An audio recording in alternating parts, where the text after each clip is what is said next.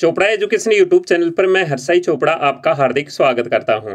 मेरे प्यारे बच्चों, कुछ दिन पहले मैंने तमिलनाडु स्टेट के बारे में एक वीडियो बनाकर आपको बताया था कि तमिलनाडु गवर्नमेंट ने सभी प्राइवेट मेडिकल कॉलेज और डिम्ड यूनिवर्सिटी को नोटिस जारी किया है कि वो अपने 50 परसेंट सीट पर गवर्नमेंट फ़ीस तय करें, यानी कि गवर्नमेंट फ़ीस फिक्स करें 50 परसेंट प्राइवेट सीट्स पर।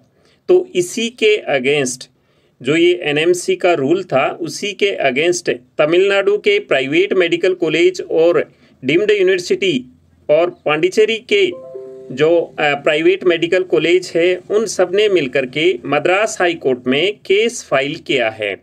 ये केस इस एनएमसी रूल के अगेंस्ट है, जो section ten within bracket one within bracket one के अंडर आता है। जो एक्ट 2019 का एक्ट है, जिसमें ये कहा गया है कि प्राइवेट सीट पचास परसेंट गवर्नमेंट फ़ीस पर होंगी।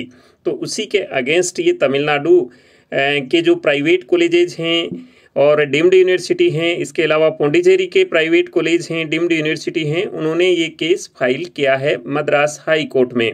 और इसकी जो हियरिंग है, वो एट्थ अगस्त 22 को है। यानी कि 8 अगस्त 2022 को इसके बारे में या तो कोई डिसीज़न आएगा या फिर इसकी हियरिंग डेट आगे पोस्टपोन्ड होगी। तो इसके बारे में जो भी डिसीज़न रहेगा, हम आपको इन्फॉर्म करेंगे। क्योंकि हर एक सिचुएशन हम आपको इन्फॉर्म कर रहे हैं, क्या इसकी पचास परसेंट सीट प्राइवेट की जो हैं, वो गवर्नमेंट सीट पर होंगी या नहीं होंगी गवर्नमेंट फ़ीस पर, इसके बारे में जो भी अपडेट रहेगी, हम आपको इन्फॉर्म करेंगे।